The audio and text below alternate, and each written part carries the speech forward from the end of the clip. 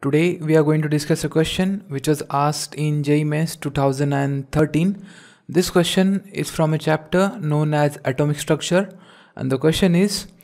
energy of an electron is given by E is equal to minus of 2.178 into 10 to the power minus 18 into z square divided by n square joules. Find the wavelength of a light required to excite an electron in an hydrogen atom from level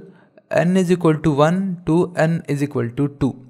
Uh, the data is given h is equal to 6.62 into 10 to the power minus 34 joule seconds and c is equal to 3 into 10 to the power 8 meter second inverse. So let us try to solve this question. So energy, this is the formula given for the energy of electron in an hydrogen. So this, so for n is equal to 1 E1 will be minus 2.178 into 10 to the power minus 18 into z square. The value of z for hydrogen is 1 which is 1 uh, so z square is equal to 1 square divided by n square. So in this case n is equal to 1 so n square. So it gives minus 2.178 into 10 to the power minus 18 now uh, energy corresponding to state 2 where n is equal to 2 is minus 2.178 into 10 to the power minus 18 into as it is hydrogen the value of z is equal to 1 so 1 square is equal to 1 divided by mm, n square. As here n is equal to 2 so n square will be 4 this gives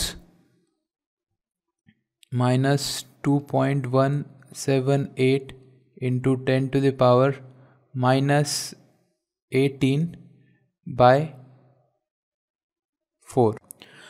now electron is going transition from state 1 to state 2 so the net change in energy which is E2 minus E1 will be minus 2.178 into 10 to the power minus 18 this 1 by 4 minus 1 so this can be written as 3 by 4 uh, this gives minus 3 by 4 and minus n minus uh, equals plus. 3 by 4 into 2.178 into 10 to the power minus 18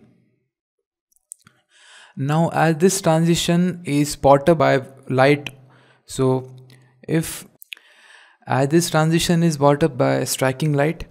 so let uh, wavelength corresponding to the light be lambda. So by de Broglie hypothesis we have